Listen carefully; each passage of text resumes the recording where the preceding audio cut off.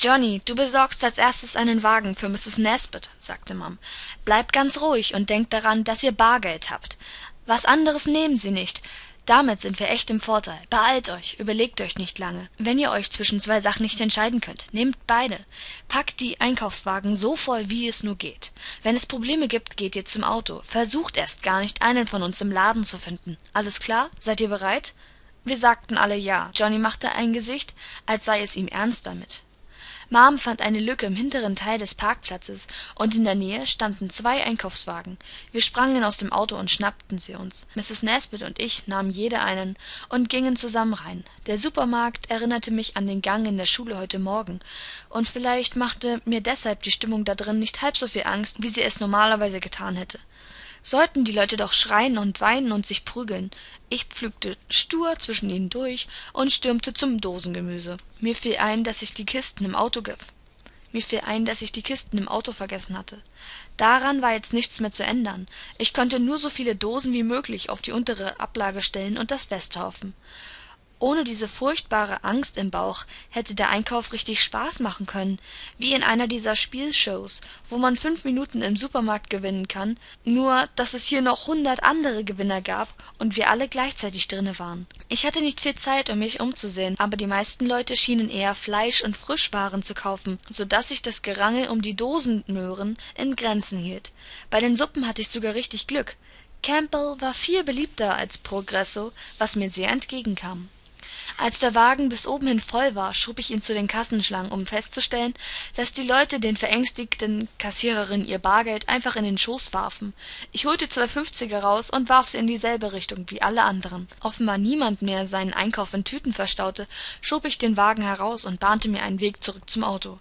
Der regen war stärker geworden und das unwetter schien wieder näher gekommen zu sein es war nicht so schlimm wie heute morgen aber mir reichte es. Zum glück wartete mrs nesbit schon im auto auf mich. Wir warfen die konserven einfach in den kofferraum. Die gläser stellten wir etwas vorsichtiger rein. Mrs nesbit grinste mich an. Mein leben habe ich mich gut benommen sagte sie. Jetzt darf ich die leute endlich mal auch mal rumschubsen ohne mich zu entschuldigen. Sie haben es ja faustdicke hinter den ohren sagte ich. Startklar zur zweiten runde? fragte sie.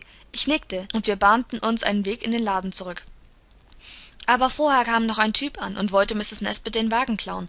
Gib schon her schrie er. Den brauch ich. Hol dir selber einen schrie mrs nesbit zurück. Wir sind im krieg mann. Ich befürchtete der mann dachte genau dasselbe. Und da mir nichts besseres einfiel rammte ich ihm meinen einkaufswagen ins kreuz was ihn ziemlich überraschte und mrs nesbit genug zeit verschaffte sich aus dem staub zu machen. Ich rannte ihr nach ohne mich noch einmal umzusehen verglichen mit dem kampfgetümmel auf dem parkplatz wirkte der supermarkt beinahe friedlich.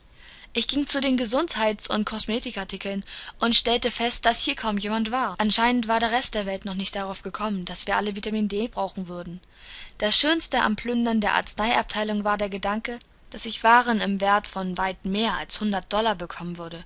Ich lud den wagen voll bis er fast überquoll machte noch einen zwischenstopp bei den konserven und ging dann zu den süßwaren rüber wo ich die untere ablage des einkaufswagens mit kekspackungen vollstapelte ich dachte sogar an die feigenkekse die mom so gern mag. Diesmal traf ich mom am auto die gerade dabei war ihren einkauf einzuladen. Sie hatte so viel thunfisch lachs und sardinen gekauft dass es für zwei ganze leben reichen würde. Hinten im van sah es jetzt genauso chaotisch aus wie im supermarkt weil wir nichts in tüten verpackt hatten. Mom gab sich große mühe beim einladen aber trotzdem fiel ständig etwas heraus so dass ich die ganze zeit während mom einlud damit beschäftigt war die sachen wieder vom boden aufzuheben ein mann kam auf uns zu. Er hatte einen einkaufswagen dabei schien aber trotzdem völlig verzweifelt. Sie müssen mir helfen sagte er. Bitte sie haben doch einen wagen sagte mom. Eine von ihnen muss mit mir kommen sagte er. Meine frau ist im siebten monat schwanger und wir haben schon ein zweijähriges kind und ich brauche windeln und babynahrung und weiß gott noch alles. Bitte kommen sie mit damit ich noch einen zweiten wagen habe. Ich flehe sie an meiner frau und meinen kindern zuliebe mom und ich starrten ihn an. Er sah aus wie ende zwanzig und wirkte aufrichtig. Miranda du gehst in den laden zurück und entscheidest nach eigenem gutdünken was wir noch brauchen sagte mom. Ich begleitete diesen mann. Wir stopften die letzten sachen in den kofferraum und gingen zu dritt wieder rein. Ich war froh beim reingehen einen blick auf mrs nesbit zu erhaschen. Sie stand vor den feinkostregalen. Wahrscheinlich dachte sie dass man die sache genau so gut stilvoll angehen konnte. Dann entdeckte ich johnny der das ganze wasser eingeladen hatte ihm machte die sache offensichtlich spaß. Ich ging zu den fruchtsäften rüber und nahm nur welche in den kartons. Ich hätte nie gedacht dass wir irgendwann mal saft aus kartons trinken würden aber flaschen waren einfach zu unhandlich. Ich holte noch ein paar liter von dieser ewig haltbaren milch. Inzwischen waren die meisten regale so gut wie leer und die leute fingen an sich um die letzten sachen zu streiten. Eier lagen zerbrochen auf dem boden und überall war irgend etwas verschüttet so dass man aufpassen musste wohin man trat im wagen war noch ein bisschen platz also ging ich zu den knabbersachen und packte ein paar tüten brezeln ein. Dann entdeckte ich die nüsse und warf auch davon noch einige packungen dazu. Bei den backwaren sah es schon ziemlich leergefegt aus deshalb stopfte ich salz und zucker in die letzten lücken und aus lauter übermut auch eine tüte chocolatechips ich warf der kassiererin meine fünfzigdollarscheine hin und ging zum auto auf dem parkplatz wurde es immer brenzlicher und es regnete immer noch in strömen. Johnny war schon am auto aber als ma'm auftauchte sagte sie wir sollten noch einmal reingehen und alles mitnehmen was wir noch finden konnten viel war nicht mehr da aber ich packte den wagen noch einmal mit limabohnen und rosenkohl und anderen weltuntergangsdelikatessen voll. Als endlich wieder alle im auto saßen verbot ma'm uns so lange das sprechen bis sie den van vom parkplatz heruntermanövriert hatte aber wir waren sowieso alle viel zu müde um uns zu unterhalten. Ma'm schlug den rückweg ein. Auf den straßen sah es jetzt noch schlimmer aus. Einmal mussten johnny und ich sogar aussteigen um einen dicken ast aus dem weg zu räumen. Ein paar leute hielten an und halfen uns aber ich hatte trotzdem angst bis wir wieder im auto saßen und ma'm weiterfahren konnte. Wir waren schon halb zu hause als mrs nesbit plötzlich sagte halt bei den geschäften da vorne an. Warum das denn? fragte ma'm aber sie bog auf den parkplatz ein er war fast leer. Johnny du gehst in die zoohandlungen sagte mrs nesbit. Ich gehe in den geschenkeladen und du laura in die gärtnerei. Gute idee sagte ma'm ich werde ein paar setzlinge kaufen. Dann haben wir den ganzen sommer über frisches gemüse. Da für mich sonst nichts übrig blieb ging ich in den antiquitätenladen. Ich wusste zwar nicht was ich da sollte aber ich wusste ebensowenig was mrs nesbit in dem geschenkeladen wollte oder gab es etwa schon grußkarten zum weltuntergang? Der antiquitätenladen hatte den vorteil dass ich dort die einzige kundin war. Es gab immer noch keinen strom und das gewitter war für meinen geschmack immer noch ein bisschen zu nah. Aber dieser laden war seit stunden der erste ort der mir nicht wie ein irrenhaus vorkam. Die frau hinter dem tresen fragte sogar kann ich dir helfen ich wollte ihr lieber nicht verraten dass wir gerade dabei waren uns mit vorräten für den weltuntergang einzudecken damit sie nicht auf falsche gedanken kam. Also sagte ich nur nein danke. Und sah mich weiter um. Ich hatte noch immer zweihundert dollar in meinem umschlag und konnte noch so ziemlich alles kaufen was wir brauchen könnten. Ich wusste nur nicht was. Dann entdeckte ich drei petroleumlampen. Ich schnappte sie mir und ging nach vorn. Ich schnappte sie, ich schnappte sie mir und ging wieder nach vorn wir haben auch duftöl für die lampen wenn du möchtest sagte die frau. Ich nehme alles öl das sie haben sagte ich.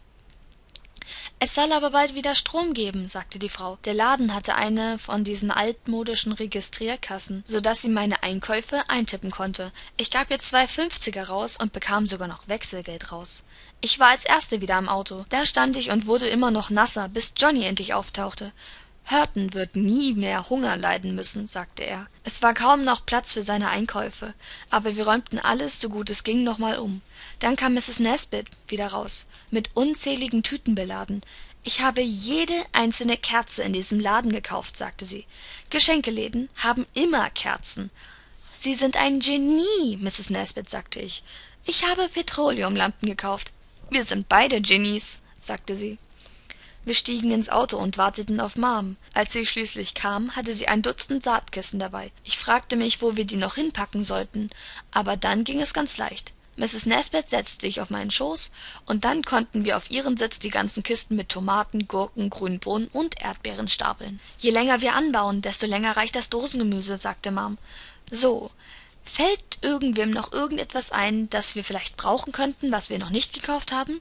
Batterien sagte ich. Das transitorradio in dem antiquitätenladen hatte mich auf die idee gebracht. Streichhölzer sagte mrs nesbit.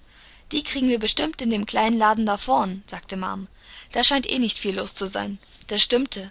Auf dem parkplatz stand nur ein anderes auto mom kaufte sämtliche batterien streichholzschachteln und seifenstücke die sie hatten. Außerdem noch einen kuchen und eine packung doughnuts dann können wir es uns heute auch noch mal gut gehen lassen. Wir setzten mrs nesbit zu hause ab und halfen ihr dabei die einkäufe ins haus zu tragen. Wir überlegten nicht lange wem nun diese oder jene dosensuppe gehörte oder wie viele von den kerzen ihr zustanden. Wir teilten die sachen einfach so auf dass sie von allem genug hat. Nur das katzenfutter und die saatkissen behielten wir für uns ich gab ihr noch eine der petroleumlampen und das dazugehörige öl.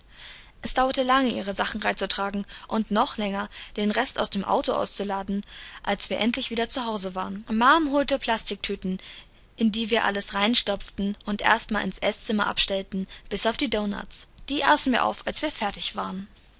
Den rest verstaue ich später sagte mom. Danke kinder. Ohne euch hätte ich das nie geschafft.